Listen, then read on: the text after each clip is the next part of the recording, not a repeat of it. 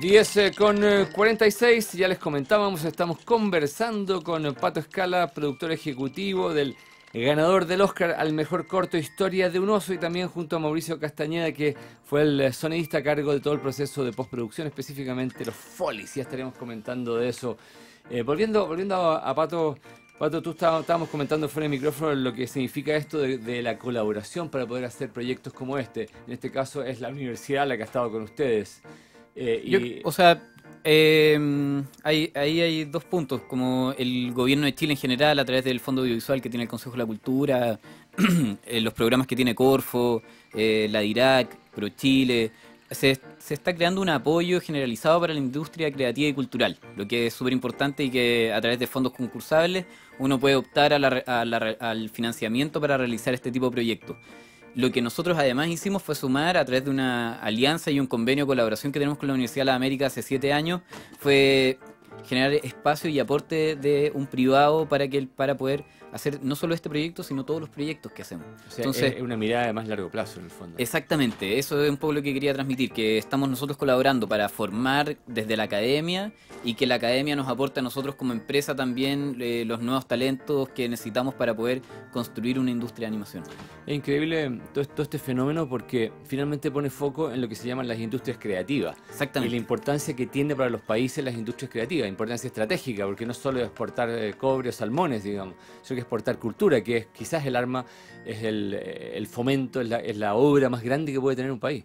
Sí, o sea, bueno, no sé, tuvimos Iron Maiden ahora hace poco y eh, uno ve como el show que hacen y tenéis que entender que ahí se mueve una cantidad de plata que finalmente hace que eso también sea un buen negocio. Entonces tenéis la parte artística, la parte comercial y mientras hay un equilibrio se puede crear una industria creativa cultural que eh, ni siquiera es como solo de exportar ese talento, sino que en el fondo es de internacionalizarlo para que tenga una mayor cantidad de seguidores y la industria, la industria creativa cultural hoy en día no, no es solo cine y animación o videojuegos, sino que también está la música.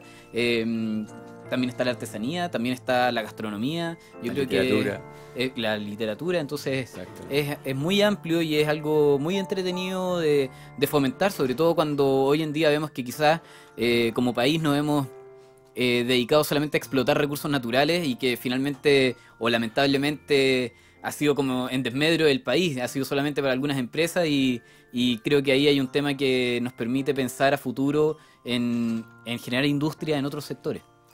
Ese es el eh, gran punto, ¿ah? el hecho de que haya ganado este corto Historia de un oso, corto animado, ganador del Oscar al mejor cortometraje. Además es el primer Oscar que recibe una película chilena en todo sentido. Hay gente que dice que hay otra gente que ha ganado Oscars, claro, como equipo, pero no como una obra completa. Y a propósito de lo que es una historia audiovisual, como dice ese nombre audiovisual, hablemos justamente con Mauricio Castañeda, que estuvo a cargo del Foley. Explícanos qué es el Foley para que la gente entienda la importancia que tiene todos aquellos ruiditos. Sí, claro. Mira, lo primero que todo es señalar que la post de sonido se divide en, cuatro grandes etapas.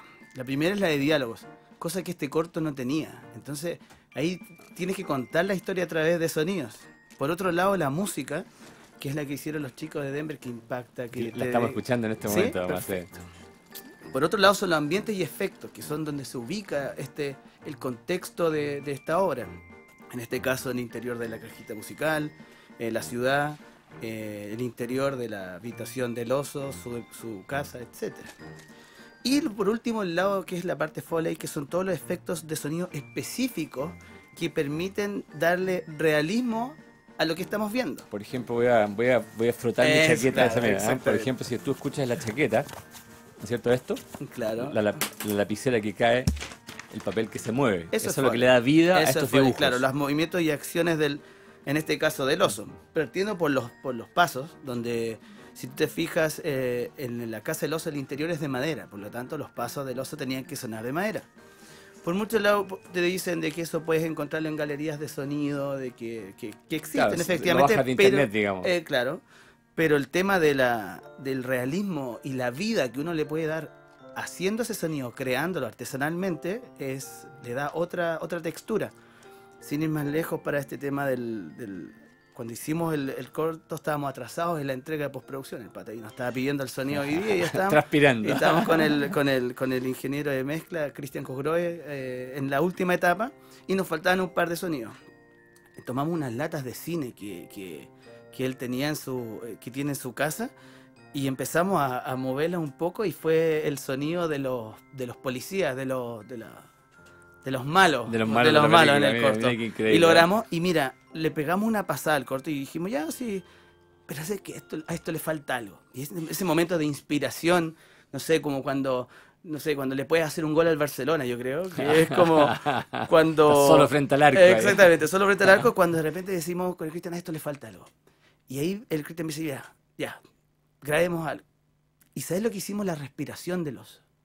Cuando se para, cuando se levanta en, los, en los Ah, planos cosa más que tuviese cercanos. profundidad Ah, en su personalidad sonora, digamos. Ahí lo escuchamos por última vez y dijimos, listo, mándaselo al pato, esto es, aquí Wow. está la No, no fue, hecha. no fue tan así la historia, pero vamos a dejar que, Sí, que sí, se- pero lo- que se- claro. que, se- que Perfecto. perdure así. Mira, lo, lo- lo- bonito de tenerlos a ustedes, eh, estimado Pato y eh, Mauricio, es eh, que han hecho una obra maravillosa que conquistó el Oscar, eh, algo no fácil, nada de fácil, lo más difícil del mundo. eh, sacaron en nuestra historia cultural fuera de Chile, la han mostrado por el mundo, así que felicitaciones de toda la gente que los está escuchando a lo largo de Chile, también las señales online. Gracias por estar acá en su apretada agenda. Y bueno, y que sigan para adelante, porque es, esta, es- estas posi- esta, eh, industrias creativas necesitan eh, goles ante el Barcelona, como tú dices.